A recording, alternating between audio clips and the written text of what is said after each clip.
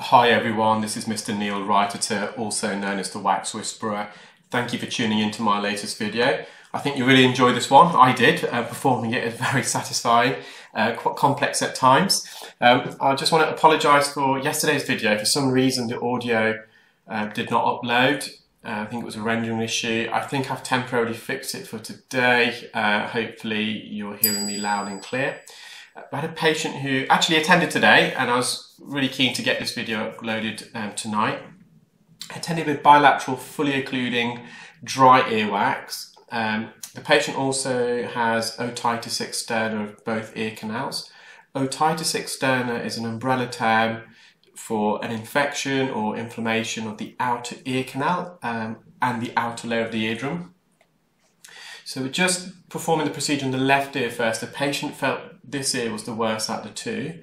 And I'm just using a Zollner suction probe to tease out this very dry, crumbly wax. You can see the patient has got um, otitis, ex, uh, otitis externa, some eczema of the uh, lateral part of the ear canal, so some very dry, flaky skin. Thus far, the Zollner suction probe is very effective we're just beyond the second bend now, the ear canal. And I know it's a second bend because it's the bony part of the ear canal and there's no hair follicles, there's no cilia on this part of the ear canal. In addition, there's a narrowing uh, called the isthmus. So we, we all have two narrowings. Um, the first narrowing is roughly a centimetre into the ear canal and that's where the bony part of the ear canal meets the cartilage portion of the ear canal and the second narrowing is approximately half a centimetre away from the eardrum. Um, so the ear canal narrows and widens and it narrows and widens again. And this remaining plug of dead skin and wax is lodged within the second isthmus. There's a lot of dry skin adhered um, to the canal wall, which is also attaching to um, the earwax. Dead skin in the ear acts like a double-sided sticky tape. It sticks to the ear canal wall and it also sticks to the earwax and sometimes it can be very difficult to um, elevate and retract the dead keratin skin both off the ear canal and also the earwax. So just on the posterior canal wall, so the back part of the ear canal, you can see that layer of skin that I'm trying to peel off the canal wall. We have to be very gentle in this region of the ear canal. The outer third of the ear canal is made up of cartilage. So it's the outer third and the cartilage has a thick layer of skin that, well, thick in relatively compared to the thickness of the skin that lines the bony part of the ear canal. So the skin that lines the cartilage portion of the ear canal is roughly one millimeter in thickness. There is also some muscle underneath the skin and some fatty tissue. The inner two thirds of the ear canal is made up of bone and there's just a very thin layer of skin measuring 0.1 millimeter, so one tenth of the uh, thickness of the skin that bears the outer part of the ear canal. So it's very delicate. If we make contact the bony part of the ear canal, uh, the patient won't be happy. Um, apologies for not editing this black screen out. Um, must have been one that I missed. The patient's ear canal is also slightly narrow, which makes it a bit more difficult to manoeuvre the instrument once you're in the ear. So when we're trying to remove skin or even uh, wax uh, any, any, any region of the ear canal actually, we need some maneuverability of the instrument. Remember the ear canal itself, the diameter of the average ear canal is approximately between 0.7 and 0.9 millimeters. Um, so you can almost compare it to, well, similar to your little finger, or say even smaller than your little finger. And then you've got two bends, and there's a narrowing and opening, and then a second narrowing and opening. So it's very difficult um, orifice to operate in sometimes um, in some people's ears.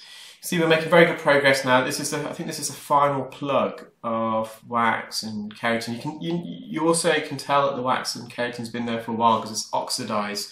Fresh earwax um, is usually a light brown shade.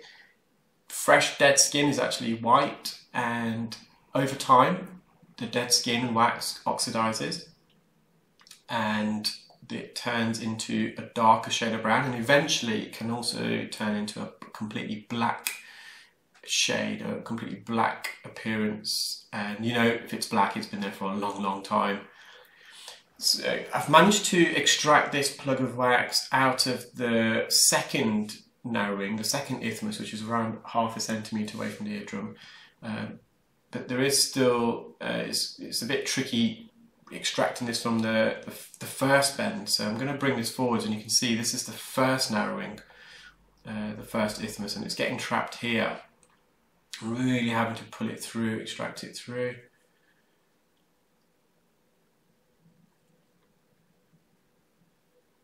I was reluctant to put any drops in just to help because the patient um, had been using drops quite a lot. Um, not sure how well they've been using the drops because the wax is still relatively quite dry. There's some, there were some parts of the wax more lateral, so near the entrance that was a bit more wet. That soaked and absorbed the drops. I'm just trying to rotate this wax upwards, so I must roll it up and then roll it back down trying to squeeze it through, tease it through the second, well sorry, not the second narrowing, the first narrowing. You can see I'm going to the top of the plug of wax and trying to bring it down and just trying to wriggle.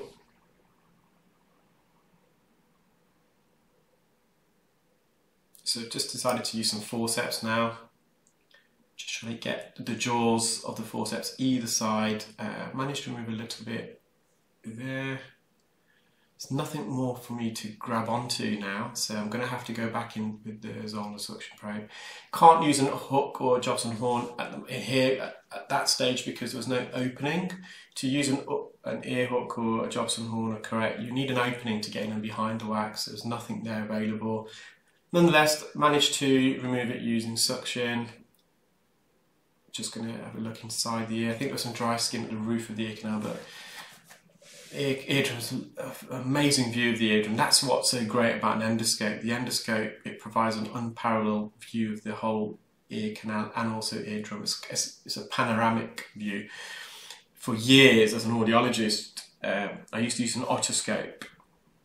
And an otoscope, I wouldn't, I've, I've still got my original otoscope I bought many years ago after I qualified, spent a lot of money on it haven't used it in around five or six years uh, because I would never go back to an otoscope. The view, it, it, you just, uh, I would have to um, make an effort to try capture the view of an otoscope uh, or a, a, microscope even. Comparing it to an endoscope, it's just, uh, yeah, it, it, was a game changer for me when I first started using an endoscope in my practice and we started developing the iClearScope. Now we're on to the right ear. This is this ear the patient felt wasn't as bad. He, the patient noticed after I cleared the left ear that this ear actually was bad, um, but when the patient attended, because the patient's comparing one ear to the other, uh, he felt the left ear was significantly worse and he wasn't really aware of a blockage in his right ear until I cleared the left ear and obviously the patient could notice the difference. This ear was actually a lot more challenging. Um, the ear canal was a bit more narrower, but the wax was a lot more deared. The, um, to the ear canal. Uh, we, there's a lot more dry skin adhesions here. So it took a lot, lot longer to remove this. So just using a Zollner suction probe, you can probably tell um, that the ear canal is a bit more slit, it's a bit more narrow. Um, everyone's ear canals are more, uh, you have got an oval appearance like a rugby ball or if in American, American football. Um, it's, it's like kind of an elongated circle. But with this patient, that elongated oval it's, it's a lot more stretched. It's it's it's from the width it's narrower, but the length with the height is higher, and it's potentially one of the reasons why the patient's getting a build-up. Um, it's the first time the patient's uh, attended here, but he did mention that on a yearly basis normally needed his wax removed, and I think it's been a couple of years, so he's way way overdue. So just persevering at the moment with the Zollner suction probe. Probably removed about a third up to half of the, the ear wax. So all the lateral wax near the entrance I've removed. I'm just trying to pull this through the narrowing. So just like the left ear, uh, so this ear canal also has two narrowings, uh, one about a centimetre into the ear canal and the second about half a centimetre away from the eardrum. So I've just tried to go in with the forceps, but what the forceps actually does when I'm trying to get a grip, uh, it can also at the same time push some of the wax further in. So you've got to be very careful. We don't be pushing this wax further in and causing more of an impaction. So just removed a bit of dead keratin off that wax. It's very dry. So I've decided to use an ear hook. I have to get the right orientation. There's not much space in the ear canal because it's quite narrow. So the L band I've rotated so it's facing uh, upwards superiorly to the roof and then once I'm in I'm twisting this ear hook trying to embed it within the wax pulling it out. Unfortunately it's just dissecting it. It's not really helping much.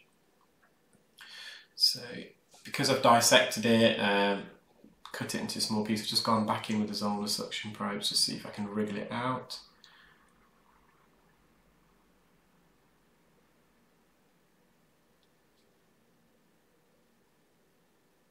can see I'm really tugging at this. Um, it is some of the um, dry skin and wax is, is coming, is separating from the main body.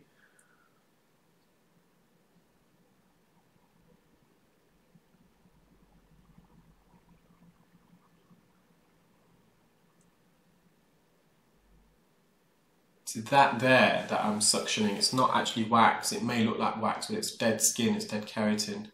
You can see the ribbons actually of dead keratin uh, that's shedded, the different layers. You can probably see it. You, will see this the ribbons of this dead skin and it's all coiled around this wax. So there is wax there in the, in the core in the center, but around it you've got keratin. So I've decided to use a Jobson horn, not much space. A Jobson horn, the surface area is a lot wider than an ear hook. I can just about insert it and I've got a little bit of this dry wax out not a lot. But it was, it was not possible to get that Jobson horn any further um, than what I did there. So just using the forceps again, you can just there was a bit of an opening there on the on the anterior canal wall, and just managed to pull some dead keratin out.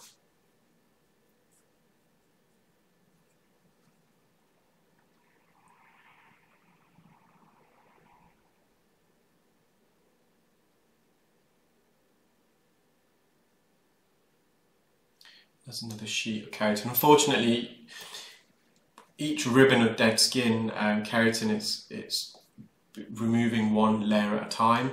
Ideally, with the forceps, you just and with the Jobson horn, and also with the ear hook earlier, you wanted to extract a big solid mass of dead keratin wax out in one go, but in this case, it wasn't to be. So I'm just persevering again with some suction. And you can see I got a bigger piece of keratin at the top. I think this video is great to illustrate that sometimes the instrument you think is the best instrument actually in practice is not. And quite often we have to use a combination of instruments in conjunction with, with each other. They all support each other. When I first got trained in doing clinical ear care, I was only trained in um, microsuction. Uh, so it was only when I decided to develop the iClearScope. Um, so just a bit of background. Uh, first got trained. So audiologists in the UK don't get trained to remove earwax as part of their core training. I think that's true to say with most audiologists around the world. Um, it's, a, it's an additional skill that audiologists over the last decade or so have um, acquired and it makes sense. Audiologists are the best people to remove wax because we are looking in people's ears day in, day out. It's what we do. And in the UK, the last decade has been a big surge. So most, I would I would say probably about 50 to 60% of audiologists are now trained in wax removal. And I initially got trained using um, some head loupes. Um, head loupes are similar to like magnifying goggles, essentially. It's what dentists sometimes use um, to examine inside of your mouth. However, if you've got earwax near the entrance of the ear canal, head loupes are fine. Um, you've got an adequate view. However, if the wax is deep in the ear, you, you simply don't get the depth, you, you don't get the magnification, and it's just not safe, I don't feel, um, to remove, or at least with the head loupes that I had. I really struggled, and I think what a lot of people did, and that's what inspired me to uh, develop something else. And in the UK, uh, all the ENT doctors um, in secondary care, they use an operating microscope. An operating microscope is a huge piece of equipment. It weighs a ton. Uh, it's not portable. And with an operating microscope, although the view is very magnified, um, and you do get uh, really good depth perception because you you're using both eyes to to look and converge inside the ear canal, so that provides you with uh, depth perception. It's what we call stereoscopic or binocular vision. So if you're working very close to the eardrum, it, you, you've got really good depth. The, the, view was very narrowed. You don't see the whole ear canal, and as soon as you move the patient or the patient moves or you move the microscope slightly, you lose focus. Um, and that's the same with head loupes. You lose focus very quickly. So I spoke to my colleague, Mr. Darius Rajali. Uh, we've been we're colleagues, but we've been friends for a number of years now. And I said, there must be something that we can do, um, something different. And endoscopic ear surgery has been on the rise, uh, both in the UK but internationally over the last decade. And in fact, uh, most of the, the recently uh, qualified ENT consultants are now using endoscopic ear surgery all the time. Um, it's endoscopic ear surgery, I believe it started off in the Far East um, and in, in, Asia, but it's never really taken off in this country until the last 10 years. But now, um, I think ENT, a lot of ENT doctors are realizing that the, the, major benefits of an endoscope as opposed to a microscope when performing ear surgery. And the, the main difference is that field of view. You can just see everything in, in one shot. It's just, it's just unparalleled. And um, so Mr. Rajali mentioned that to me and says, well, why not? Why don't we try an endoscope? And that, that's where the idea first stemmed from. And it took us about 18 months to develop the iClearScope. We had to get the correct length, the diameter, uh, and also the optics. Um, some endoscopes, you look in the ear and you, you, the eardrum's too magnified and you don't get the field of view whereas other endoscopes, the field of view is too wide, so you're seeing too much of the ear canal. You're almost seeing behind you, but and then which is great, but the side effect of that is that the eardrum's very deep in the distance. You don't get that depth perception. So it took us about 18 months to develop the correct optics for earwax removal, and the iClearScope has been specifically developed and manufactured for the sole purpose of um, earwax removal. So yeah, a bit of background there guys. So just going back to the video, you can see I was using a variety of instruments, hooks, scoops, forceps. Um, still quite difficult, but we're making some progress now. Um, you can see I've separated the plug of wax completely from the ear canal wall. You can see the bottom part of the ear canal completely. So I'm just trying to insert a hook underneath. Again, I'm just going to be very gentle. We don't make contact with the canal wall and I don't push this wax further forward. So I managed to dig into the to the plug of wax. But at the core, the wax was quite soft and it just dissected it, just sliced it. It didn't bring it forwards, which is a shame because that was quite. Um, we managed to get in, get, get in the right position with the hook um, by going underneath. There's a bit of a gap at the top. Just had to be really careful. I don't want to touch the either the eardrum or the the roof of the ear canal using the ear hook because that would be quite uncomfortable. And again, unfortunately, we're gliding forwards and it's just slicing through. Um, so we used some forceps, uh, not forceps. We used some uh, Jobson horn earlier as well, and was doing it. Was having a similar effect. And the surface area of the Jobson horn was too wide, so you can't really go any deeper than we did before with it.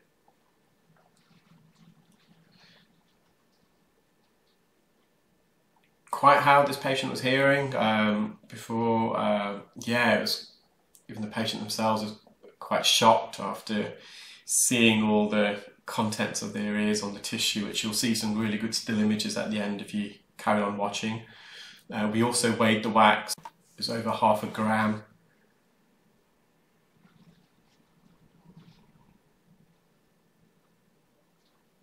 So again, this wax is lodged in that second narrowing, the isthmus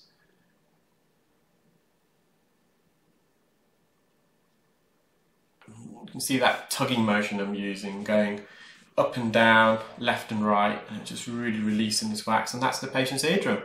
Fully visible, very healthy, lovely view again of the whole ear canal. It's just a fantastic view.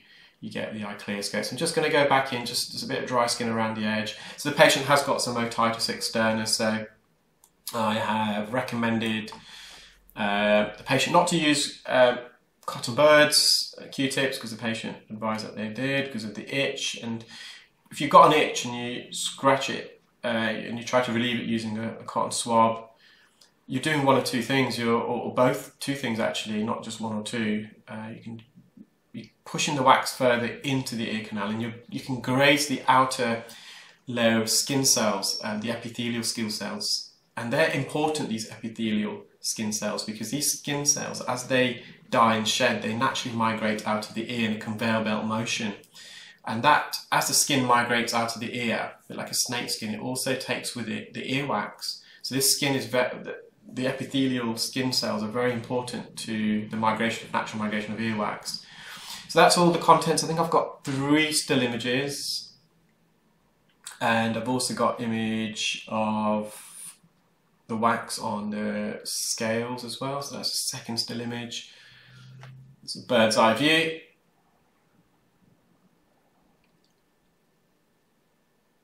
And so yeah, so just under um, 600 milligrams, quite a haul. I'm still waiting for my first gram earwax removal. Uh, hopefully, um, won't be it won't elude me too much longer. But I hope you enjoyed that video, guys, and I'll speak to you all soon. Take care. Bye.